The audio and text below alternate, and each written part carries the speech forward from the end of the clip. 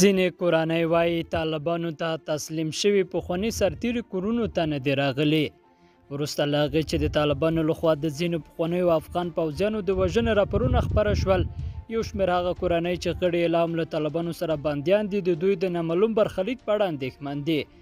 د غزني د اومې امنیتي حوزې د پخواني امیر سمسور ورور نجیب وایي غزني ښار ته د طالبانو له ننوتو سره سم یې ورور له خپلو وسلو او مهماتو سره طالبانو ته تسلیم شوی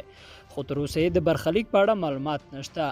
نوموړی وایي سمسور کوژده کړې وه او کورنۍ په کابل کې اوسېږي نجیب ازادۍ رډیو ته وویل ورور یې د غزني په ملي امنیت ریاست کې له طالبانو سره بندي دی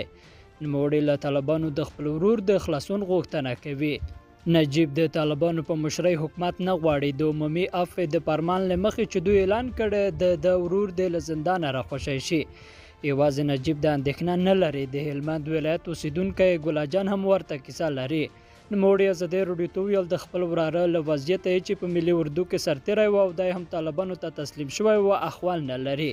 ښکلا جان د موضوع د حساسیت له امله د خپل وراره نوم نه اخلي او په دې اړه ډېر جزئیات هم نه ورکوي، خو وايي، وراره مې په میوند کلي اردو کې سرتېری و او طالبانو ته تسلیم شوی، خو تر اوسه یې د برخلیک په اړه هېڅ خبر نه شته، موږ له طالبانو غواړو که ژوندی وي نو خلاص دې کړي.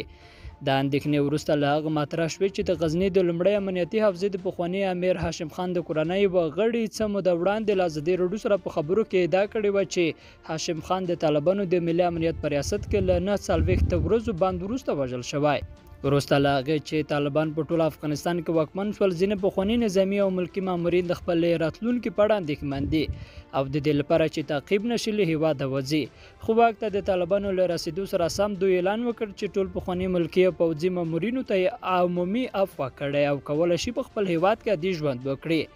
خو اوس هم ځینو سیمو کې عام خلک ادعا کوي چې طالبان کور په کور پلټنې کوي او د پخواني حکومت مامورین نیسي او پوښتنې ورنه کوي.